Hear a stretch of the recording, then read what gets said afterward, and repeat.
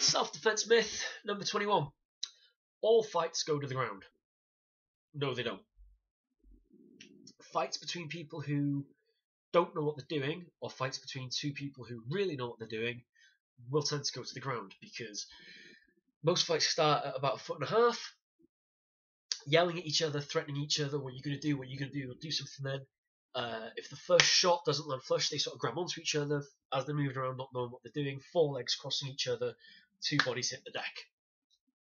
Now, RBUD, obviously, we do train grappling, uh, judo, Greco-Roman, and Brazilian Jiu-Jitsu. All very good for the ground. Our ground syllabus, however, is stripped to the bare essentials of get the person off you, get back up to your feet.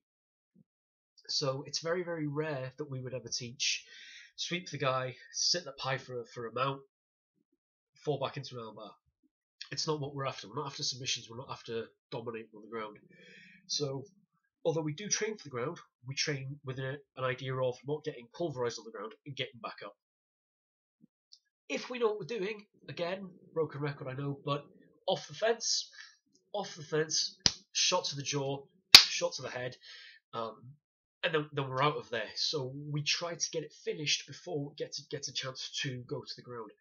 We need to learn how to finish in the first two seconds with the first few shots. We need to understand how to use a preemptive strike off the fence. Um, I will link a Geoff Thompson fence video into this clip. Although not every single fight does go to ground, it is worth knowing what to do on the ground. However, we shouldn't be looking for takedowns. We shouldn't, you know, our takedowns in the RBUD syllabus is if we've just hit you really hard or kicked you in the pills and we grab you by the shoulders and pull you down face first.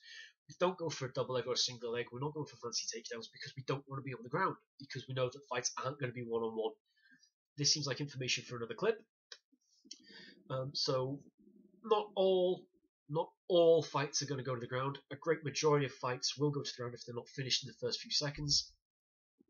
Um, again, I'm looking at self-defense type of fight situations, not a match fight where you know it's it's two guys who sort of have had an argument and they've agreed to go to the back of the pub car park. That's a match fight. Which again, the other clip, the three siblings, which I'll link here, martial arts, match fighting, self-defense, they're different things. They require a different mindset because they've got different objectives.